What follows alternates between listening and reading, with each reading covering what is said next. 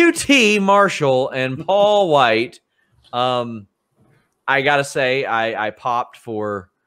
Uh, I, I don't know who it was in our chat that said getting the tall out article. Was that you, Robert? That was me. That was me. Good, good job. Good job.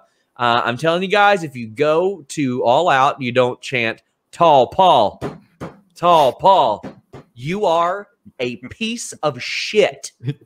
if you don't do that, if you go to this show and you don't chant "Tall Paul, Tall Paul," do not watch my show again.